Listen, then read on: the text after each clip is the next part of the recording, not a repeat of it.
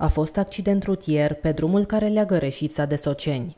Asta după ce șoferul unei mașini a pierdut controlul volanului, s-a răsturnat și a ajuns cu roțile în sus, în șanțul de pe marginea drumului. Accident rutier a fost și pe drumul Național 6, la Cornea, între trei tiruri și un microbuz. Din fericire, în urma acestora nu s-au înregistrat victime, ci doar pagube materiale.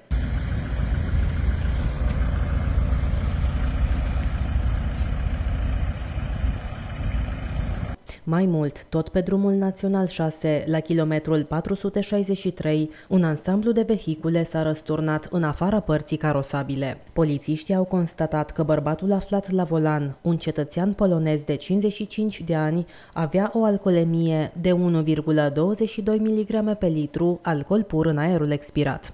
În urma accidentului nu au fost persoane rănite. Bărbatul a fost condus la spital unde i-au fost prelevate mostre biologice, iar acum s-a ales cu un dosar penal. Mai grav este că doi tineri au ajuns la spital în urma unui accident rutier care a avut loc la Văliuc. Aceștia se deplasau din direcția Brebunou-Reșița, iar la un moment dat, șoferul a pierdut controlul volanului într-o curbă periculoasă, iar mașina s-a răsturnat. În urma accidentului, atât conducătorul auto cât și un pasager de 22 de ani au fost răniți și duși la spital, fără a rămâne însă internați. Șoferul a fost testat pentru a se vedea dacă a consumat alcool sau substanțe psihoactive, de unde a rezultat o concentrație de alcool de 0,22 mg per litru, ceea ce constituie contravenție.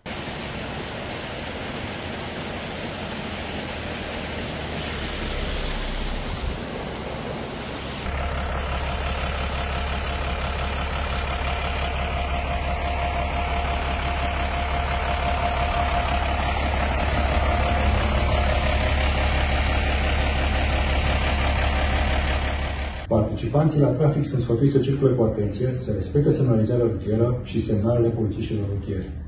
Dacă plecați la drum, informațiile despre condițiile meteo și starea drumurilor, circulați cu viteza adaptată la condițiile meteo rutiere și sporiți atenția la volan. Alcoolul și substanțele psihoactive îngreunează capacitatea de a conduce autovehicule și cresc riscul de implicare în accidente rutiere. Nu conduceți autovehicule sub influența băuturilor alcoolice sau substanțelor psihoactive. Oamenii legii sunt la datorie pentru siguranța cetățenilor și acționează pe drumurile publice din județ pentru combaterea cauzelor generatoare de accidente rutiere, dar și pentru prevenirea oricăror evenimente negative.